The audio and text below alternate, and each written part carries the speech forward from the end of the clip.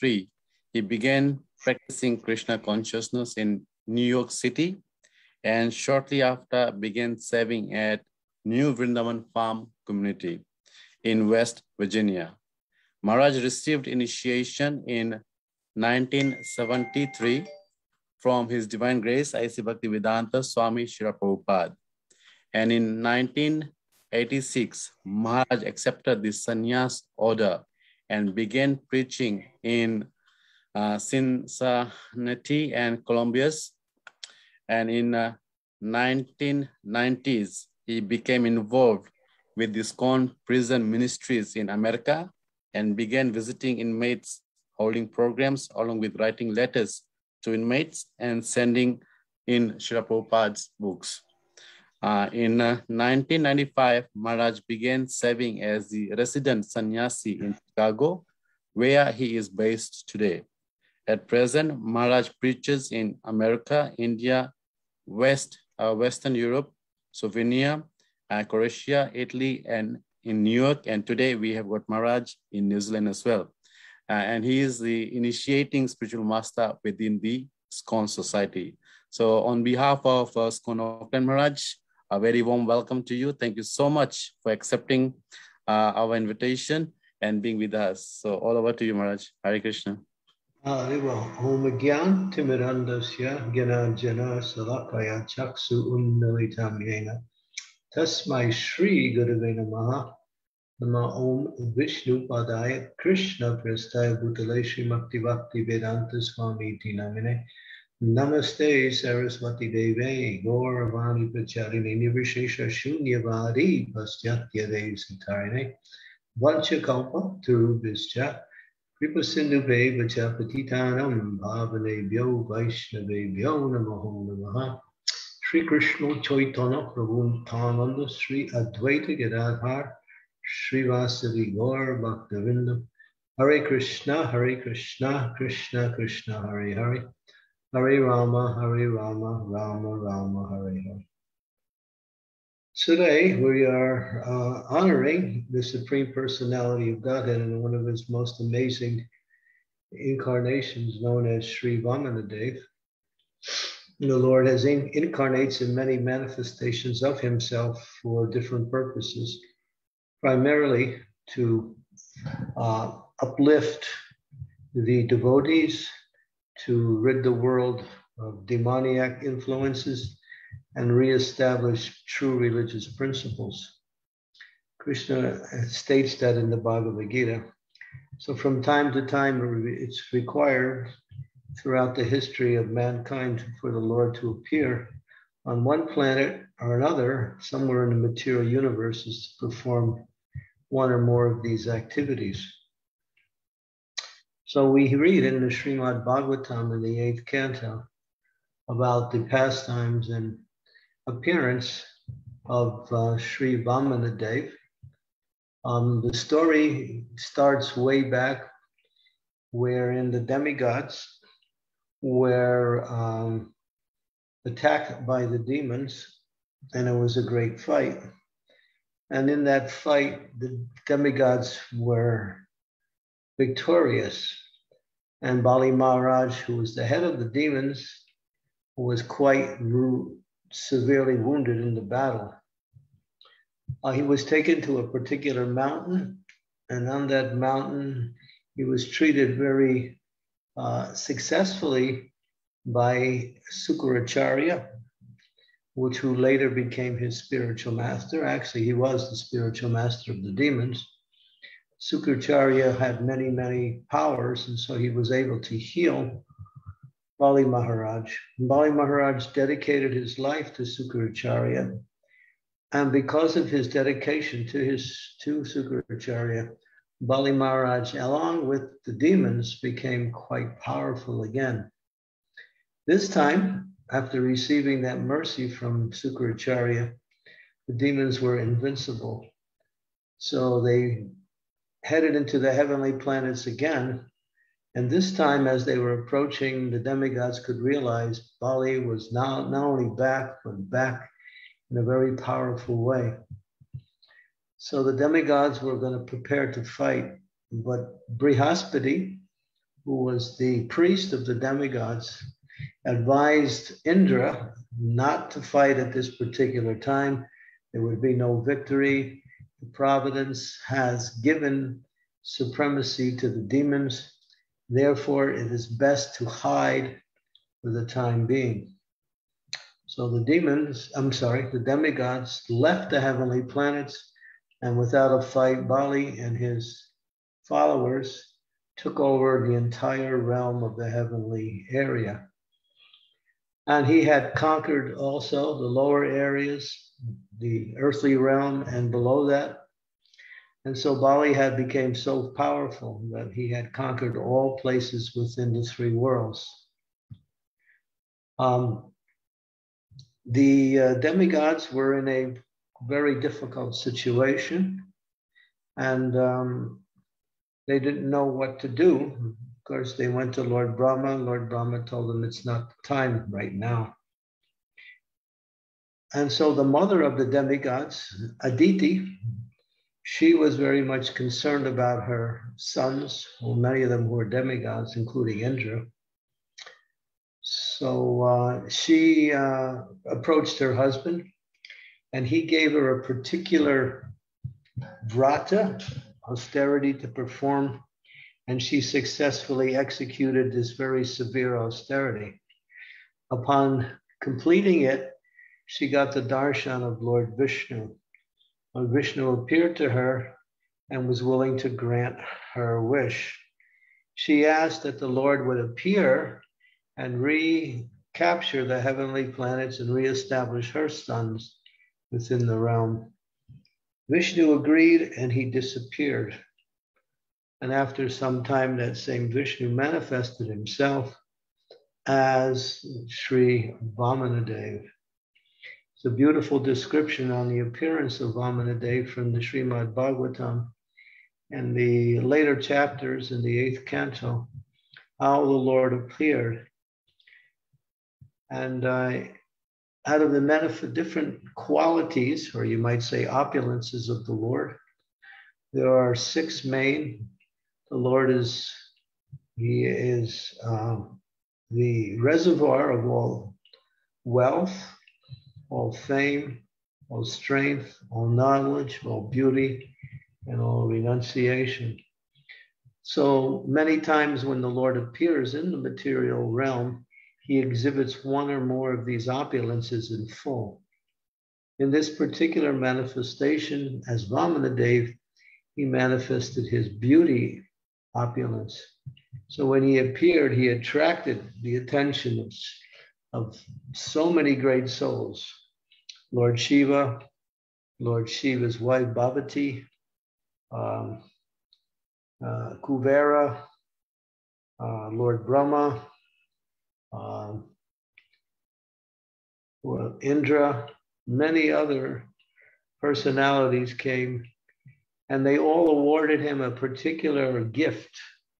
He received a danda, an umbrella, uh, a, a sacred thread, uh, a pair of underwear from his mother, Aditi, um, uh, various types of uh, gifts were showered upon Vamanadev as he appeared in his beautiful dwarf like feature. The Lord did not waste time after his appearance. He immediately headed to the assembly of Bali Maharaj to begin his mission. When he appeared, the demons became quite disturbed upon his appearance But Bali Maharaj, very charitably disposed and always eager to welcome, he saw that this beautiful young Brahmana came to his assembly. And being inclined to the Brahmanas, he immediately approached and he could understand that this personality was very, very special. So he started to worship this Brahmana, who was actually the Supreme Lord, and offer nice prayers he washed his feet, and in so many ways he pleased uh.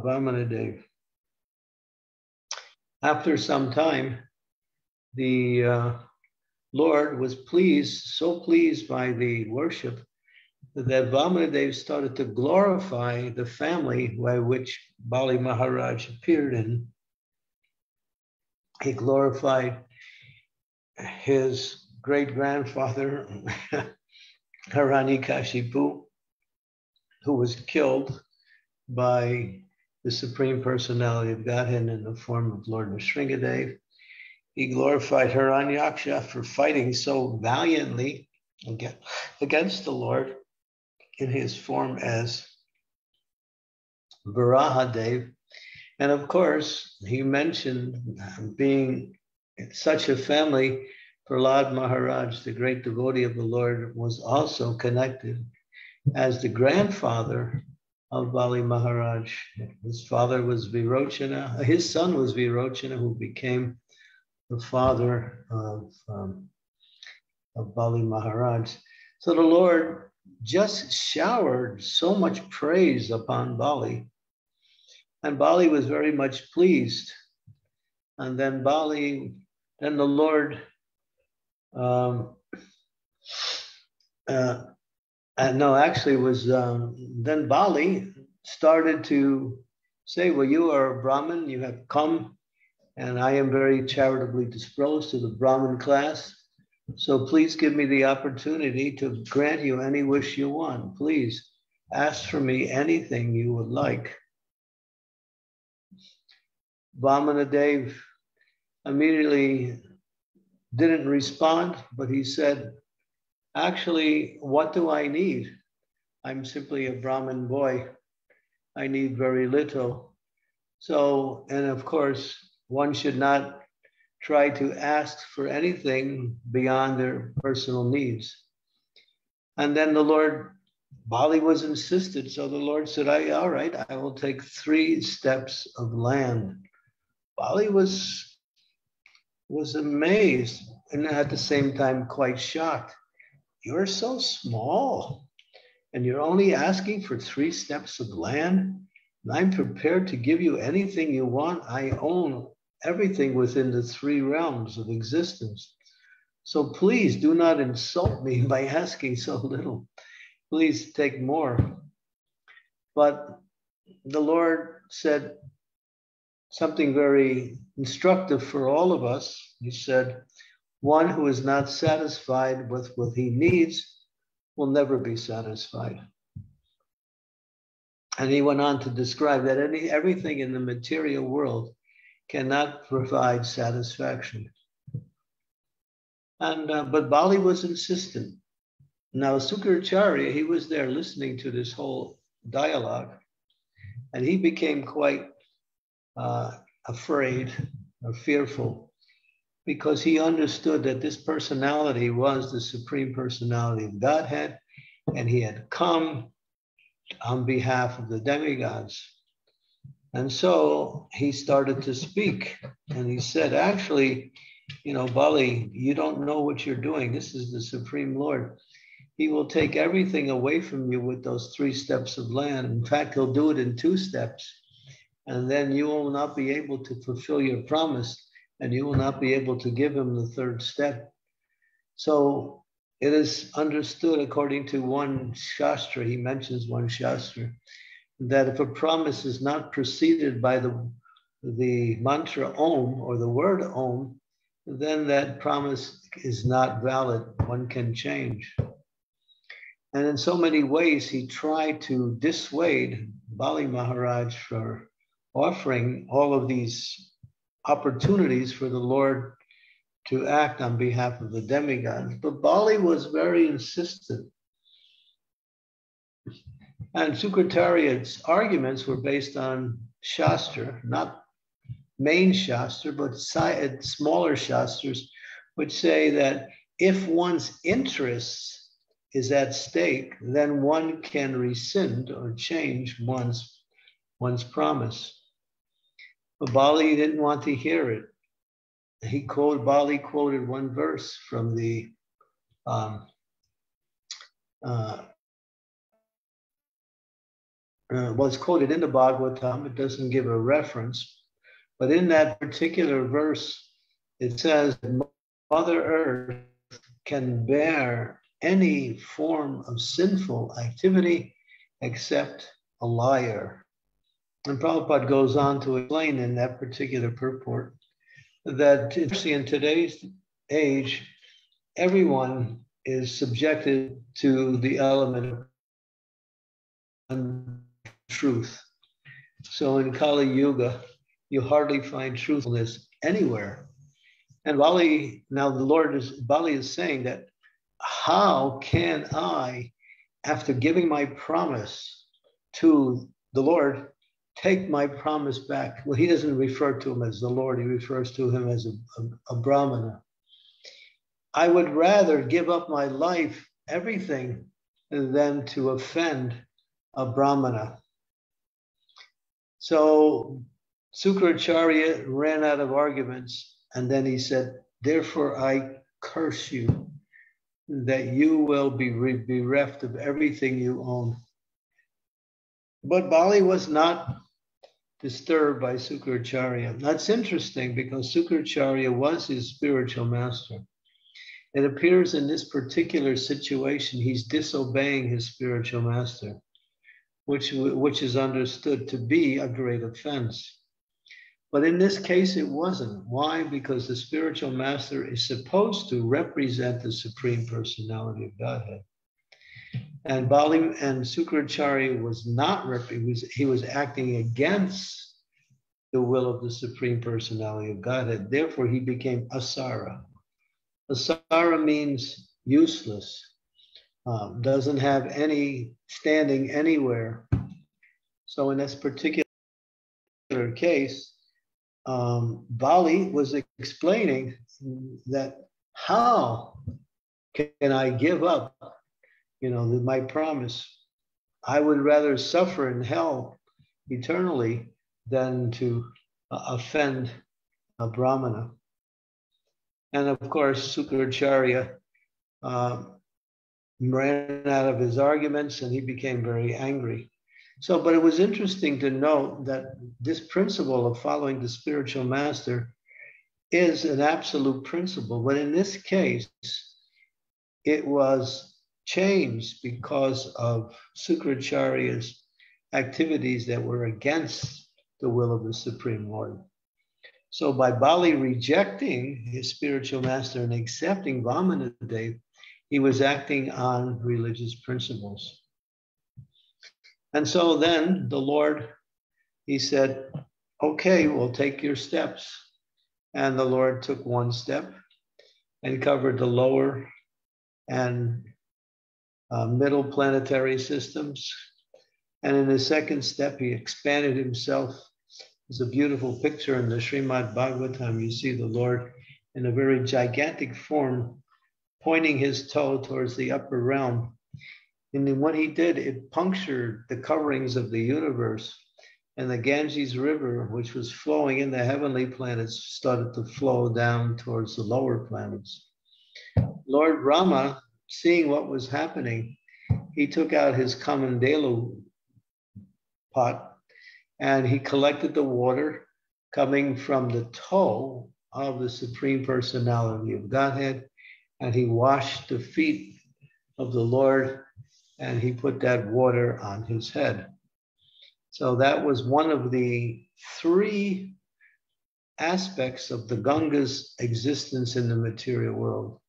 There was two other. One was when um, uh, the sons of Sagara had offended Kapila Dev, and then Janava, Janava Muni, uh, actually by his power brought the uh, Ganga Devi to earth by his austerity. Janu, Jan, Jan, Janu Dweep, Janu Muni, Janu Muni. That's why sometimes Ganges is called Janu, Janu, Janu Dweep or Janu. It's referred to the sage king or the sage Janu.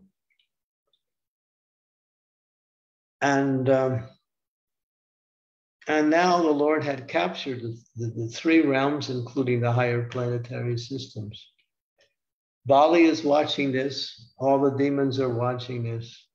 And then the Lord turns to Bali, he said, You have promised me three steps. I have taken two, and there's no place for my third step. Therefore, you have broke your promise. You should be punished. Now, it's interesting, the Lord became very heavy in treating Bali Maharaj. And he called for the ropes of Vasuki, which is a mystic snake. And he came and he tied up Bali simply like an ordinary prisoner. And Bali's all tied up. Now the demons, along with the wife of Bali Maharaj, are becoming really disturbed. And uh, so the demons decided to try to do something, but the demigods also were there. And there was a big fight between the demigods and the demons right in the assembly hall. But Bali Maharaj immediately called for the demons to withdraw the fight, and they did. And at the same time, the wife of Vin, Vidyavali, I think her name was Vid, Vidyavali, she uh, she started to worship the supreme personality of Godhead, Lord Vamanadev, in such a nice way. There's an interesting story that is somewhat connected to another pastime, and that is um, the uh, sister of Bali. Her name was Ratnabahu, I believe her name was. Um, when she saw Vamanadev, she developed maternal affection for the Lord because the Lord appeared in his form as a, a dwarf Brahmin. So her motherly affection came out towards Vamanadev. But then when she saw what Vamanadev had done to her brother and tied him up like an ordinary, she became angry at the Lord. So this mixture of anger and maternal affection later manifested in her taking birth in Vrindavan as Putana witch. She was formerly the sister of uh, Bali Maharaj. And now she appeared in Krishna's Leela as Putana witch. And we know the story how she was uh, liberated by the Lord by uh, sucking out the milk that she offered to Krishna from her breast, and at the same time, she her life was also destroyed at that time. So now the Lord is insistent where should I place my uh, third step? During that time, or in during this time, Prahlad Maharaj appears in the assembly hall. And Bali Maharaj, he sees his grandfather, the great Prahlad Maharaj. And simply by the presence of Prahlad Maharaj, Bali understood what to do. And he said, My dear Lord, please place your third step upon my head. I surrender my life to you completely the Lord was pleased with that, and then he placed his third step on the head of Bali. And of course, we understand Bali later became the great, the great Mahajan. Um, the Mahajans are great personalities that teach eternal religious principles, and Bali Maharaj is one of them. And he represents one of the nine angas of bhakti, and that is that he, he teaches the process of complete surrender. It's called Atmanivedanam, giving up everything for the service of the Lord. The Lord was pleased by Bali's surrender, and the Lord granted Bali a position in the lower heavenly planets. There's a series of planets in the lower realm that are as opulent as the heavenly planets. So he gave him one place on a place called Sutala, and where Bali would be the king of Sutala, and Vamanadev, in his form as a dwarf, would appear there to serve Bali by becoming his doorman. The Lord agreed to take the position of the humble doorman who would serve Bali in Sutala. So the Lord was very pleased by Bali. And then, of course, the, the demigods regained their positions in the heavenly realm. So sometimes it takes the Supreme Personality of Godhead to rectify the anomalies. Um, the Lord incarnates in every age to uh, give people an opportunity to purify their hearts through the process of devotional service. So sometimes people say, well, what is the incarnation in this particular age? We don't specifically see that. We see Sri Chaitanya Mahaprabhu, of course. But then again, what is that manifestation that can purify the entire world? And that is Krishna has incarnated in the sound of his name. Kali Kale Namarupa Krishna Avatar. Namahoite Haya Sarva Jagat Nistara. This is a verse uh, from Chaitanya Charitamrita, which describes that in this age, the Lord has incarnated in the sound of his name. And the absolute nature of the Supreme Personality of God is, is understood in relationship to his incarnations. So whether he appears in sound or whether he appears in his personal form or in any other form, that incarnation is absolute.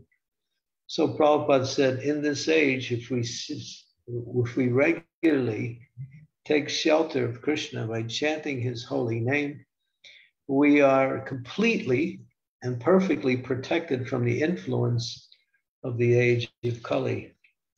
And we see in our present situation, there are many more, there are more difficulties coming on in different forms oppressive governments, pestilence, threats of war, economic decay and possible collapse. So many problems are happening now, more so than in um, previous years. But the holy name is like that bright light in the darkness of this age of difficulty. So devotees seriously and regularly absorb themselves in chanting of the Hare Krishna Maha Mantra they can receive the full protection and full mercy of the Lord through his holy name. Kali Kale Namarupa Krishna Avatar. Kalo Doshanidhi Rajan. Asti Echo Mahagun Kirtana Eva Krishna Sya Mukta Sangam Parambaja. Um, Kali Yuga is just like swimming with so many faults. There are faults everywhere. That is the nature of this age. But the Lord has so merciful manifested himself in his holy name in this particular age. And that incarnation is very, very available. Where in previous forms of the Lord's appearance, when he comes in his personal form as, you know, as Krishna or any manifestation of the absolute truth, it's not so as merciful as the holy name because the holy name can be chanted anywhere at any time and one can receive the full mercy and protection of the supreme personality of godhead. So we are very fortunate to have chaitanya mahaprabhu's mercy come in such a very direct and powerful way. Bhakti vinod thakur prays Eneche asadi maya nasi bara lagi. Harinama mahamantra lao tumi magi. Asadi means the medicine who's come in this age with the medicine to counteract the ill effects of the age of Kali. And what is that? Chanting the Hare Krishna Mahamantra. Hare Krishna, Hare Krishna, Krishna Krishna, Hare Hare. Hare Rama, Hare Rama, Rama Rama, Hare Hare. And I'll speak a little bit also about Srila Jiva Goswami, which is his appearance day also today. Um, it always falls on the same day as Dev's appearance. Um, Srila Jiva Goswami, Srila Prabhupada said is was the most prolific writer of Gaudiya Vaishnav literature. He composed over 400,000 verses. His most famous work are the Sandarbhas, Tattva Sandarbha, uh, Bhagavat Sandarbha, Paramatma Sandarbha, uh, Krishna Sandarbha, Bhakti Sandarbha, and Krama, Kramya Sandarbha. These are elaborate philosophical explanations of the entire science of pure devotional service, given in a very, very detailed way by Srila Jiva Goswami in these in his works as the Sandarbhas. Jiva Goswami also wrote one very sweet and very uh, powerful um, uh, explanation of Krishna's pastimes in Sri Vrindavan when Krishna appeared on earth from the time he was born to the time he departed back to the spiritual world, which is known as Gopal Champu. Very poetic expression of Krishna's Leelas done nicely by two personalities who, who appear in the Leela to glorify the Lord by explaining the Lord's glories to the residents of Vrindavan in a very uh, uh, August assembly, we might say, that assembly of great personalities, including the Lord Himself, uh, Snigdhakanta and one other person, I can't remember his name, two personalities who appeared to glorify the Lord. So Jiva Goswami's work in Gopal Champu is a real masterpiece in spiritual knowledge about the Lord's pastimes in Sri Vrindavan. And Jiva Goswami has written so many other books also. And uh, in fact, he uh, is the most prolific and most voluminous of all the writers of the Goswamis of Vrindavan. So today is his appearance day. And he was the nephew of Sanatan Rupa Goswami, who met Chaitanya Mahaprabhu and Lord Chaitanya came to Ramakeli to meet Sanatan and Rupa Goswami. Jiva Goswami was also there. But at that time, he was a young boy. But seeing the Lord at that time changed his whole life, and he became uh, fully dedicated to devotional service.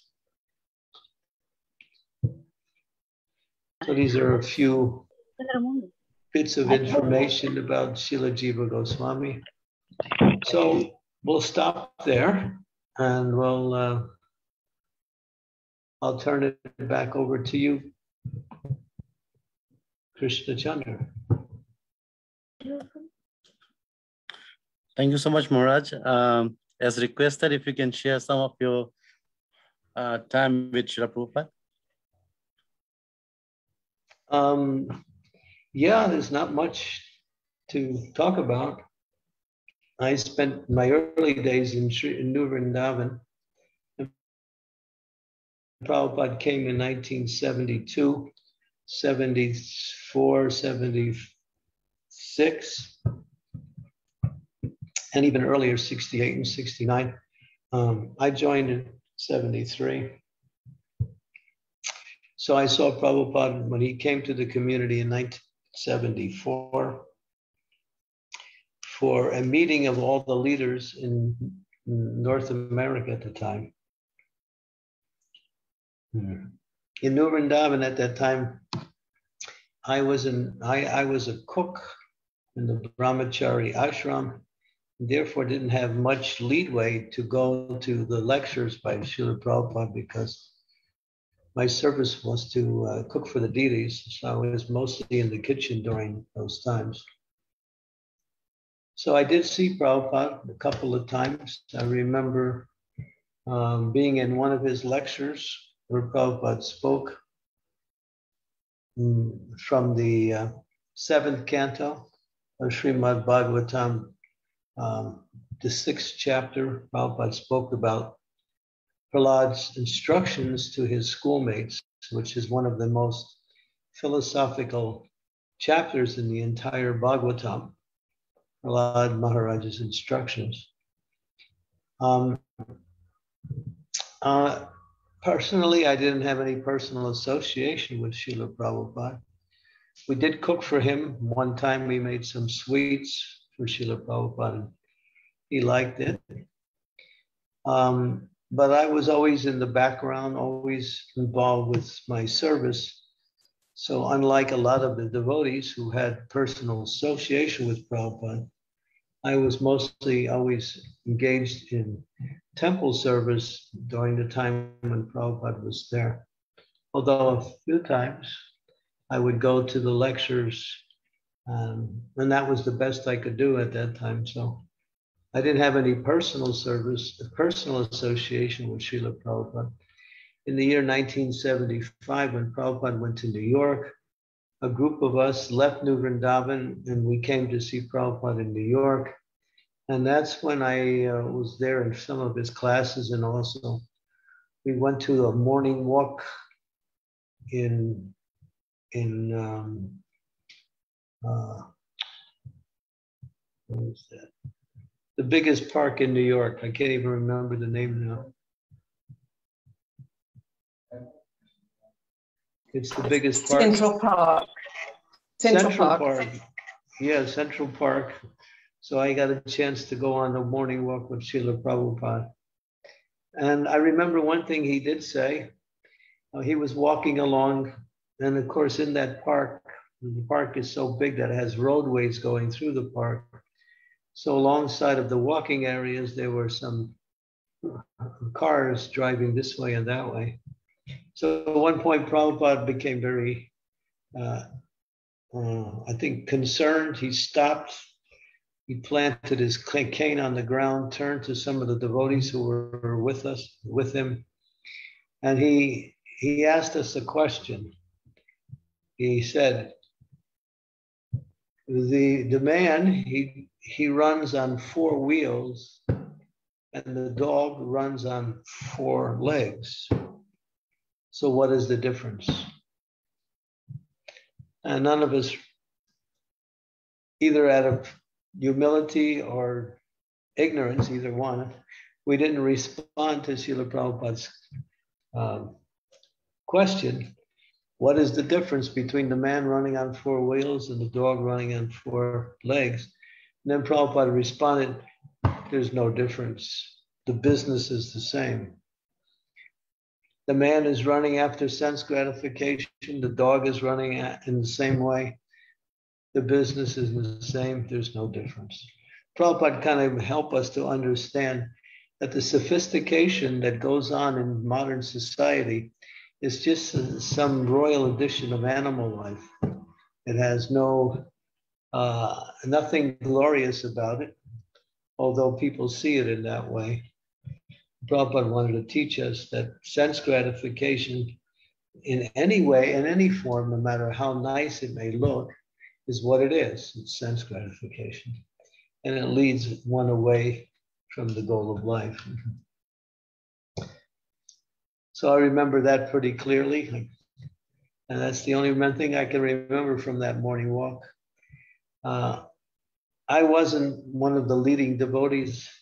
I was always in the background. So in this morning walk, that's where I was, towards the back of the line with all the devotees there.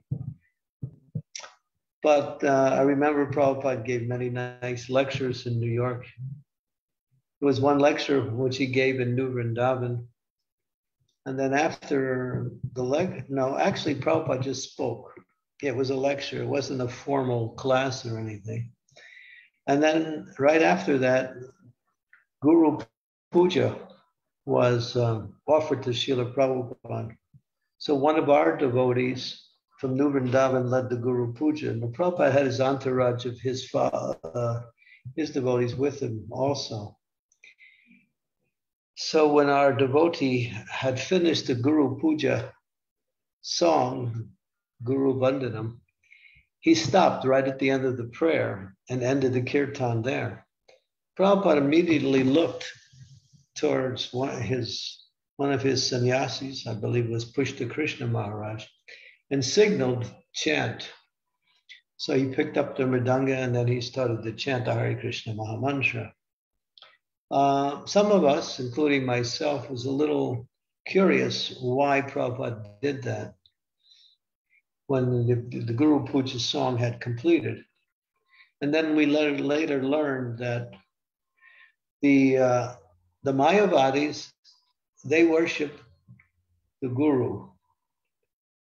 And the Sahajiyas, those who take things cheaply, they worship simply the Lord.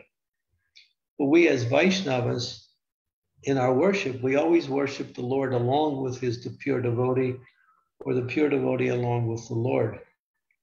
We don't separate the two. And so Prabhupada wanted to illustrate that by teaching us that when we sing the Guru Puja song, we should also include the glorification of, of the Supreme Personality of Godhead. In this case, the Hare Krishna Maha Mantra. So I, I remember that particular incident quite clearly. Okay, these are some of the uh, bits and pieces of my association with Srila Prabhupada during his visit in New Vrindavan.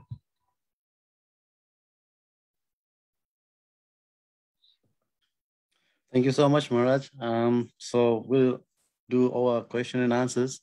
So for devotees, is there any question that you would like to ask Maharaj? You're most welcome. Please unmute yourself and then ask.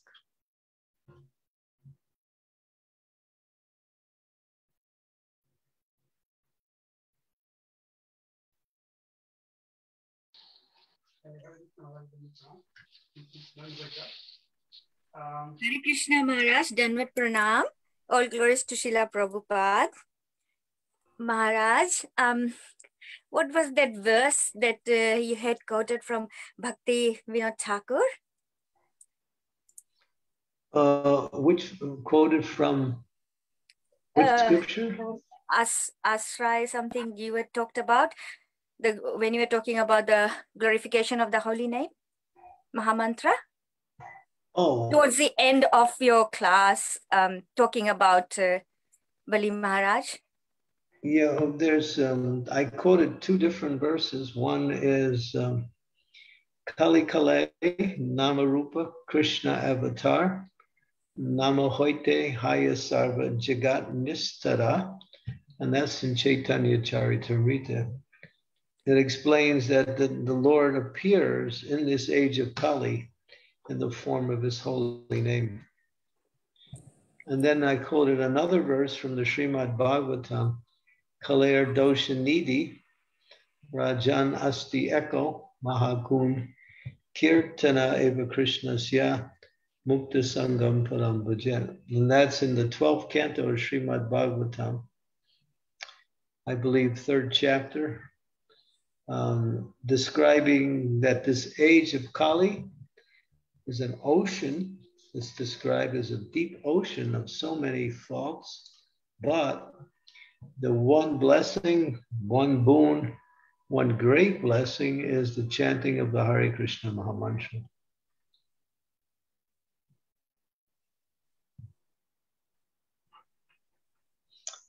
Okay. These are the two verses we quoted.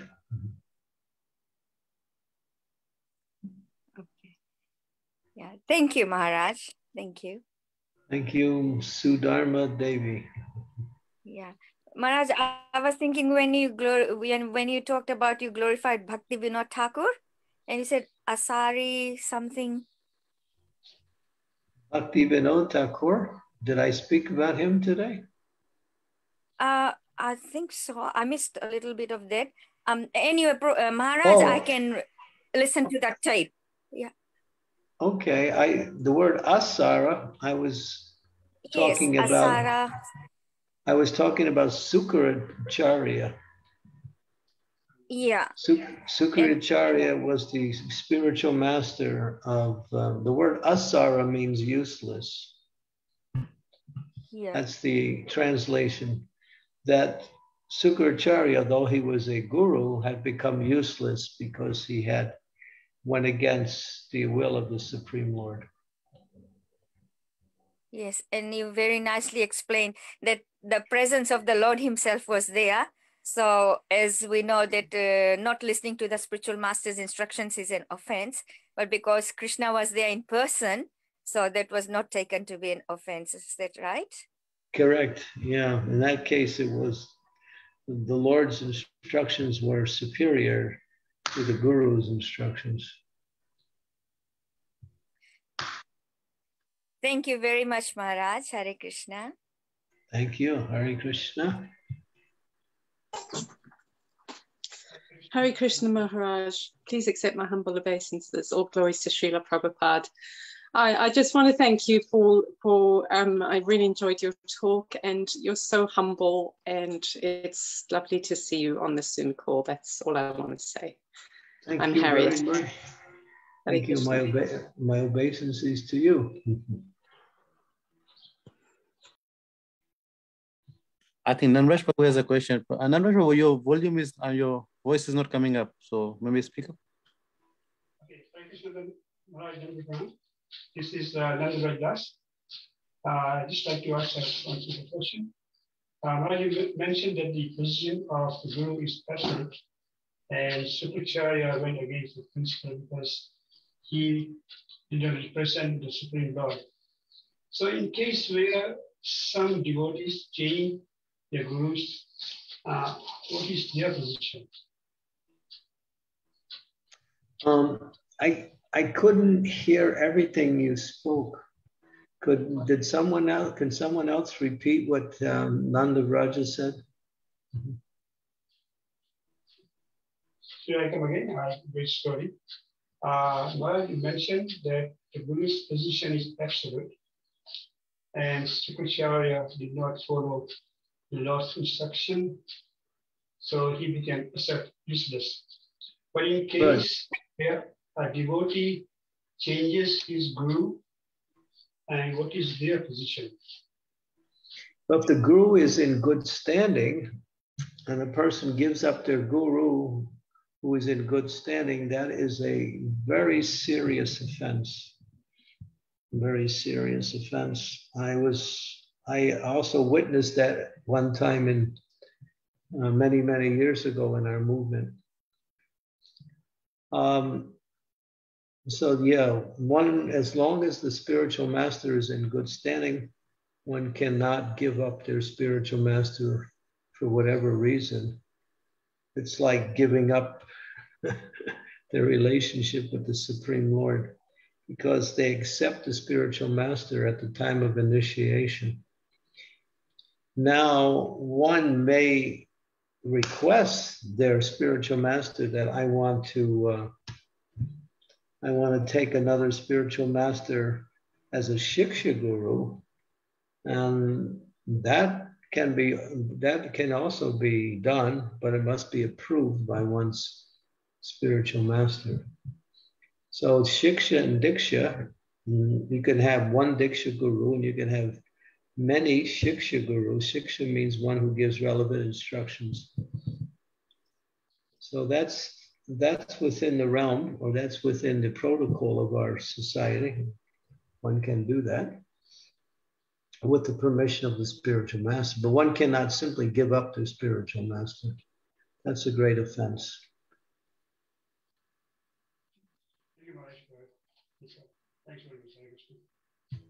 Yeah. Thank you. Thank you, Maharaj. Uh, Maharaj, there's one more question coming uh, from the Facebook um, because you are on, also online there.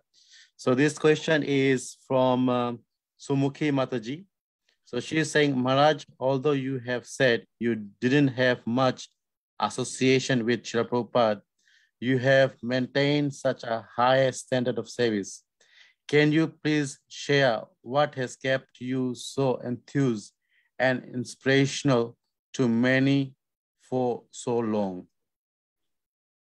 That's an easy question. It's called the Hare Krishna Maha Mantra. I find I uh, I have uh, Srila Prabhupada when he came over on the Jaladuta, he wrote that famous poem Markine Bhagavad Dharma. And in that poem, he glorifies the Lord, he glorifies the process of pure devotional service. And he also uh, very humbly ends the poem talking about how unqualified he is to do this work that he's been asked to do.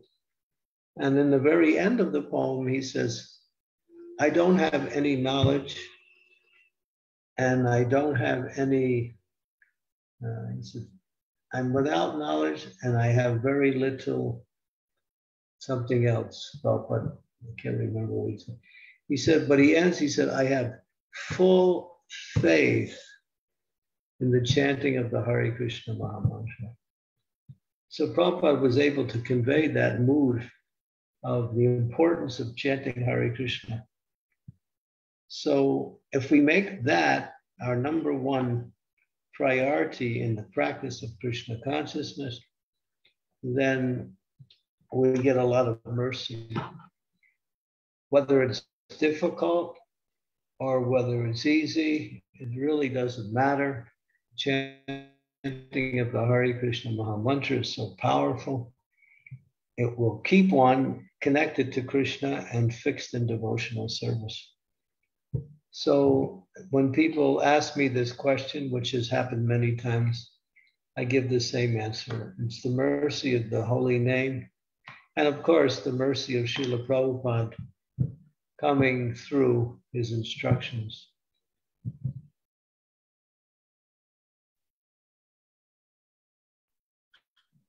Thank you, Maharaj. Um, is there any other devotees who would like to ask a question to Maharaj? You're most welcome.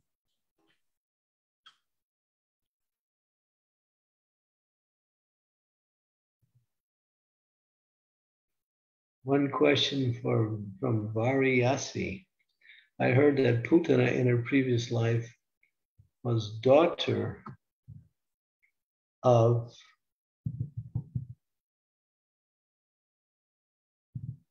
Bali. Um, I think it was sister, but you may be right. It might be daughter, but I, I was, I was remembering that it was his sister and not his daughter. But anyway, it doesn't matter, one of the two. is either daughter or sister. As the complete question is then why was she trying to kill Krishna as Putna? She carried that anger towards the Supreme Personality of Godhead in her next life or in her life as a witch.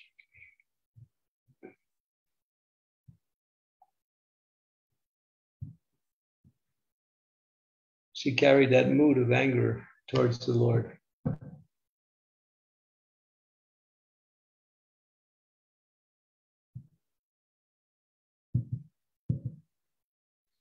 That's the answer. Thank you, Maharaj. Any other devotees? Maybe last question.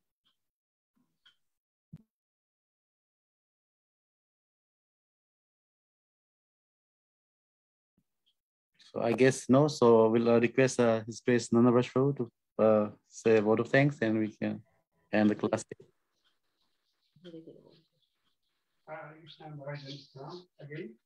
Uh, right, on behalf of the Golden Chain Auckland, We'd like to thank you for giving your valuable time, offering time here, uh, 8 o'clock. And we have a very nice, wonderful appreciation. And we hope that in future you also come and do your association. Thank you very much, Thank you. Thank you for your kind words. All glories to Srila Prabhupada, all glories to the assembled devotees, and thank you, Krishna Chandra Prabhu, for uh, organizing this Sangha.